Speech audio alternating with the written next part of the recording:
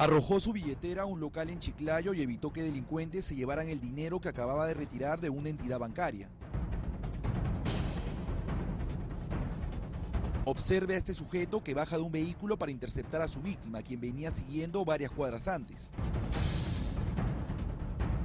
La mujer se dio cuenta de la actitud sospechosa del ladrón que desistió del robo en ese momento. Su cómplice apareció en escena y pusieron en acción su plan. Al verse acorralada, la joven lanzó su billetera a un establecimiento frustrando el asalto.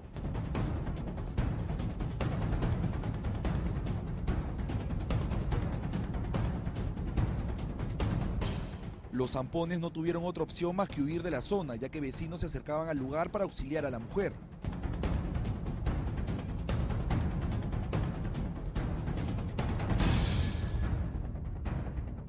En Chimbote, cámaras de seguridad captaron cuando estos malhechores forzaban la puerta de un local comercial para llevarse electrodomésticos.